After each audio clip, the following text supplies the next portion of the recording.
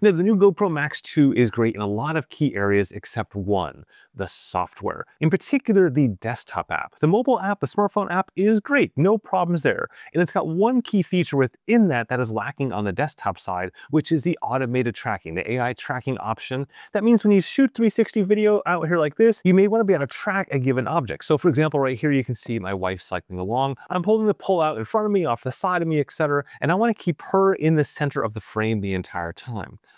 On the smartphone, as you can see right there, it does this automatically. You just draw a little square around her and it's good to go and it tracks really well. But on the desktop app, that option isn't there. And that's because GoPro essentially has two different desktop apps. The first one is GoPro Quik, which they discontinued a few years ago. They have an on and off relationship with desktops app. They kill them, they bring them back, they kill them. They do this for like a decade, right? The other app though is the GoPro Player app. That app is very much alive and updated, etc., but essentially just for viewing files and converting files. Versus Insta360 and DJI, they have both desktop and smartphone apps. Now, in the case of DJI, their desktop app for Windows is pretty limited because it doesn't have this tracking capability, but Insta360 on both a Mac as well as Windows does have that tracking capability, and it's pretty handy. Of course, they have a bunch of other tools as well in this app, but I'm just focused on the tracking bits. So I want to show you how you can use Insta360's app to do GoPro's tracking on the desktop. It's a pretty cool little workaround that solves the majority of this problem on the desktop side.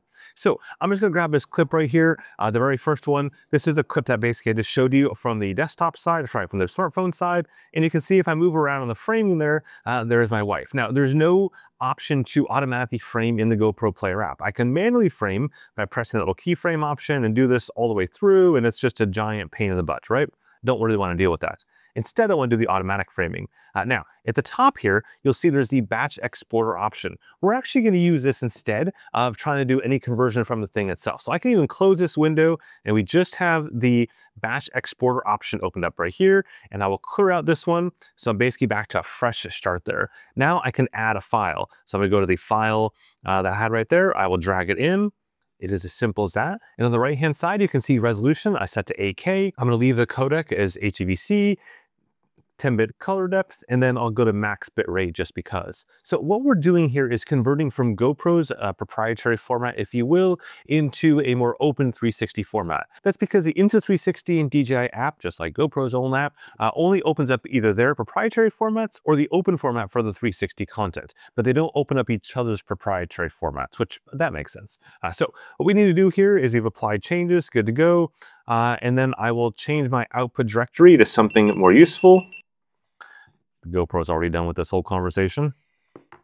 There we go, and I press the start button. Now, the simple math in terms of conversion times for this MacBook M1 Max from a few years ago, guess like five years, four years ago, something like that, is roughly one minute for every one minute of footage, roughly speaking. So two minutes will take roughly two minutes, little maybe a little more than two minutes to convert. Um, and this is, I have all my apps running in the background and stuff like that. If I were to turn off some of those apps or something else, it might speed up, but that's not how my real world workflow would be. So that's the simple conversion time there. Oh, and note that I do have a full comparison between these three cameras coming up uh, in probably just like two days. That's my hope anyways. So definitely stay tuned for that or just simply watch this video all the way through to keep the YouTube gods happy. Okay, so with that finished, I'm gonna open up the Insta360 Studio. Like I said earlier, you can technically also use a DJI Studio for this as well, but two things. One, I find the DJI Studio pretty buggy still. It crashes a lot, so I'm not gonna use that. And two, if you're on a Windows machine, then the tracking piece won't work. Insta360 Studio is a much better application overall. So they're both free. Might as well use the better free one, right?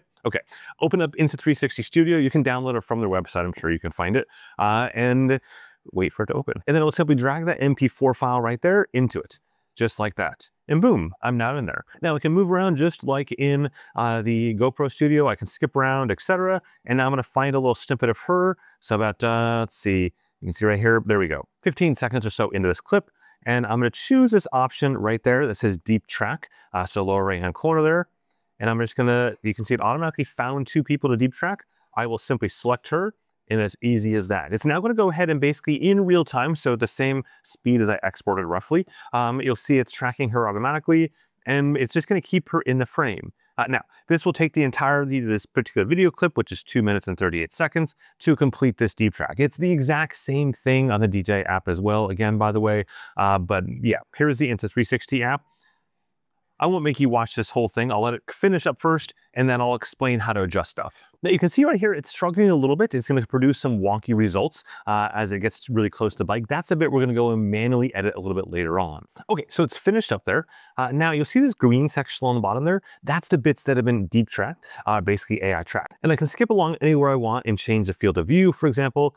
Um, I can change the framing and so on. So you can see right here, remember it was starting to really struggle in this area? If I play this back, it's mostly got it figured out. It's not quite the framing, like right there isn't a framing I want. So all I have to do is just simply move it with my mouse. It's simple as that. I can also zoom in and out by using this little menu right there and bring it out. But you can see you only do that so far. But if I move it like this, up a bit more, uh, there we go, readjust things slightly, and then hit play, it'll keep all that stuff. And I can just do this as I'm moving along, right? I can just kind of say, you know what, I want this shot right here it up a little bit and so on. And now in this case, this is a little bit messy because I was really close with that particular stick uh, versus here, I'm just gonna let it go ahead and do things automatically. Of course, one of the nice things about the Insta360 suite is there's a lot of other options as well that you can do. Uh, so for example, I play right here and I turn on the motion ND filter, um, it adds a little bit of blurring on the outside, so it makes it look like she's going a little bit faster. She's already going pretty fast as it is, but nonetheless, you can do that. Uh, you can also easily turn that on or off, of course. And again, there's many other options in here to adjust things as you see fit. Uh, all things that there isn't in the GoPro desktop app, the GoPro Player app at this point in time. Now, once you're done and ready to roll, all you need to do is press the export option in the upper right-hand corner, and now you can export out that flat file.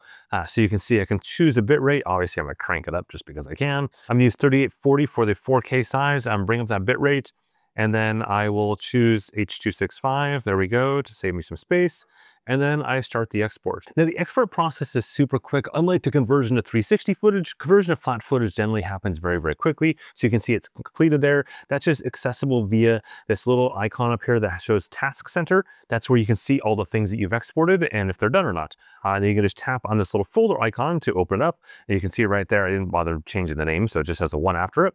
So then when I open this up here, there I'm now back in the GoPro player. Doesn't really matter though, because it's not a 360 file. Uh, you can see I can't move it around, right? It's just, it's stuck how I rendered it out. And if I just skip around to some sections right there, you can see it's framed exactly how I had it framed in the Insta360 app. So super cool stuff. Uh, it's really nice to just have free things that just work, right? So in this case, uh, while GoPro doesn't have an option, their competitor has an option that works with it for free. So hopefully you found this interesting and useful. If so, give it a like down the bottom or subscribe for plenty more sports tech goodness. With that, have a good one.